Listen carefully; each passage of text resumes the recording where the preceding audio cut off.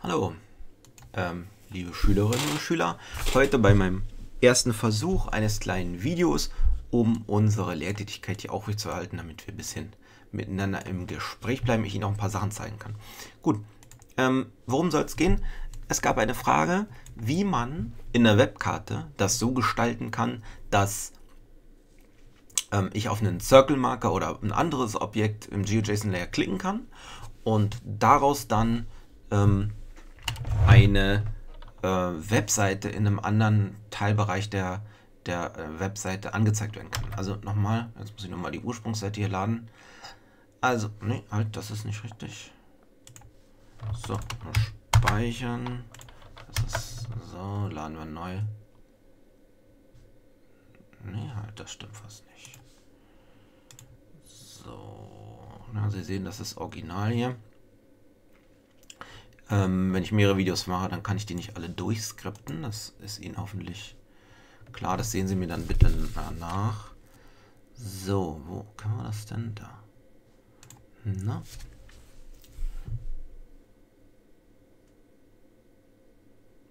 So, also auf der Seite geht es eigentlich um Flugplätze und dann wünscht sich der Schüler, dass da nicht immer Frankfurt am Main, jetzt können Sie es hier sehen, Frankfurt am Main zu sehen ist, sondern dass je nachdem, worauf ich klicke, ne, die Pop-ups und Mausovers sind schon da für die ganzen Flughäfen, die als GeoJSON eingeladen wurden, soll dann sich die Webseite hier drüben ändern.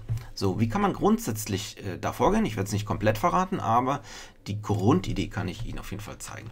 Was wir haben, wir haben die Webseite hier, das ist die gesamte Webseite im HTML-Bereich, also sehr wenige Diffs und das Diff, wo die Webseite dann angezeigt wird, also die, der Wikipedia-Auszug, ist das hier. Und das wurde mit einem iFrame gemacht. Das ist ganz nützlich eben, um ähm, eben dann nochmal so ein Browserfenster sozusagen zu öffnen. Hier sehen Sie den Link, ne? der ist jetzt erstmal hier hart gecodet, Frankfurt am Main. Gut, und dann geht schon der Skript, das Skript los. Hier, äh, die Funktion hat erstmal keine, kein Bewandtnis, die können wir ignorieren. Hier werden die Pop-ups gemacht, wie Sie das kennen. Hier werden die ähm, WMTS, also die WMTS äh, Schichten eingeladen und hier wird das GeoJSON importiert. So, und die GeoJSON Layer und die Objekte, die daraus erzeugt werden, die können wir ja anfassen. So, wie fassen wir die an? Ja, eine Möglichkeit ist, also hier wollen wir einen Event-Listener einbauen, das kennen Sie ja noch von ganz von Anfang.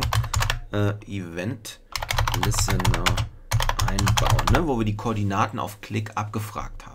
Dafür brauchten wir einen Event-Listener damals im HTML. Jetzt binden wir den anders ein, und zwar direkt im Skript für äh, innerhalb der Leaflet-Geschichte. Und das funktioniert so, dass wir ein ähm, Objekt brauchen oder ein Layer-Objekt. Und dem können wir dann über die objektorientierte Notation ähm, Events anhängen. Das funktioniert so, indem ich jetzt auf dieses Layer gehe. Ne? Das ist also Flughäfen haben wir hier definiert. Das ist dann ein GeoJSON-Layer. Da wird dann alles reingeladen, pipapo, in Circle-Marker umgewandelt, kennen wir alles. Und dann muss ich einfach nur sagen, ne, Punkt für die objektorientierte Notation und dann sage ich einfach on. Ja, und dann kann ich Events, die auf diesen Flughäfen Schicht, auf dieser Flughäfenschicht passieren, abfangen. Ja, und welches will ich abfangen? Ich will abfangen einfach einen Klick. Das geht dann so, ne? Als Parameter übergebe ich dann Klick und dann erzeuge ich eine Funktion, wie wir das so kennen. Die Funktion soll das äh, Click-Event abfangen und alle Informationen, die wir von dem Click-Event dann haben, also Ort, wo wurde geklickt, was wurde geklickt, ne? das ist ja das, worauf wir hinaus wollen.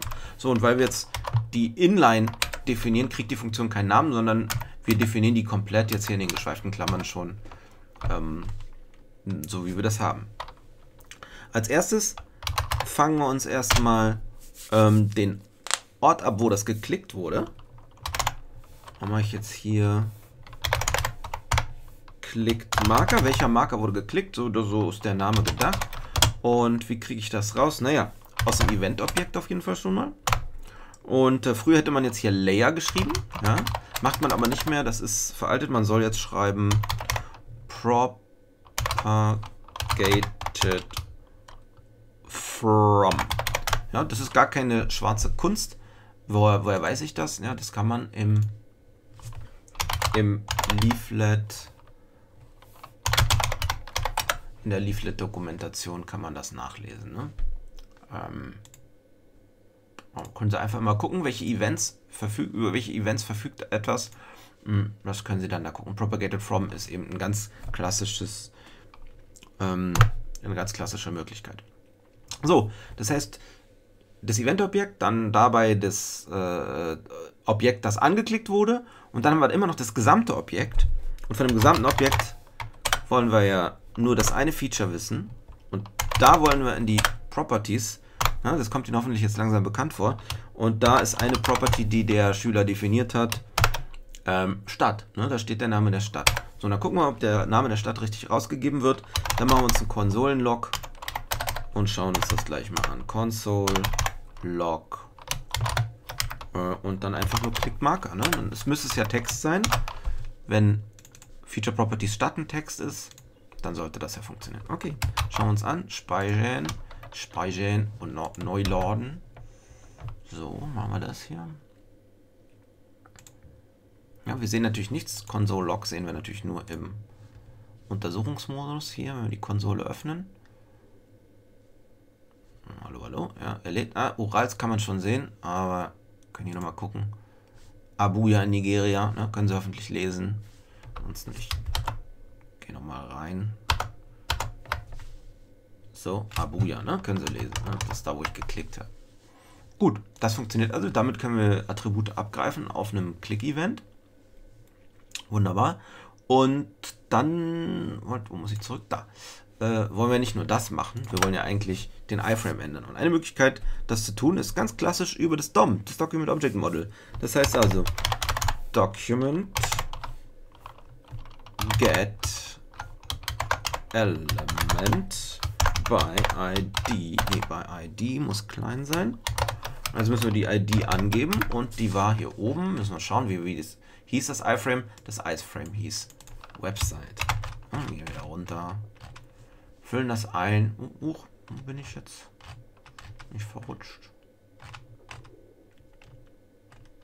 Da, genau. Ja, die holen wir uns. Dann sind wir auf dem iframe drauf und dann können wir die Quelle einfach ändern. Wir ändern die Quelle einfach. Und äh, ich will die ändern in was viel Schöneres als ähm, einfach nur die Stadtbeschreibung von einer Stadt. HTTPS. Und Sie haben es schon gesehen am Anfang, was ich da machen will. Die Wikipedia-Seite und in dem Fall äh, .org. Was haben wir da? Wiki und dann nehmen wir mal die gute alte 80er Jahre Serie oder 80er und also 70er, 80er Jahre Serie. Kampfstellen Galactica mit Starbuck und Apollo und dem Silver Sparker und all diesen schönen Dingen, ähm, die dann später alle irgendwie nochmal neu verfilmt wurden. So, dass mich das überhaupt nicht mehr interessiert. Aber das war der heiße Scheiß damals. Das ist richtig guter Kram. Ähm, so, ähm, jetzt habe ich mich selber abgelenkt. Schauen wir, ob das funktioniert. Also hier Document Get Element by ID, Website und dann einfach die Source ändern. Ne? Und schauen wir mal, ob das hier jetzt klappt. Ne, hier steht immer noch Frankfurt am Main. Und wenn ich jetzt auf irgendeine Stadt klicke, Peking in dem Fall, steht hier Peking und der iframe ändert sich. Okay, das ist eigentlich schon der ganze Trick. Ähm, was jetzt noch übrig bleibt, ist aus hier diesem Stadt, ne, das das Textattribut, das steckt ein Klickmarker. Das muss ich irgendwie hier so konkatenieren, also verketten, dass sich der Link dann immer mit der Stadt ändert. Dieses Rätsel überlasse ich Ihnen aber erstmal selber zur Lösung. Herzlichen Dank, bis zum nächsten Mal.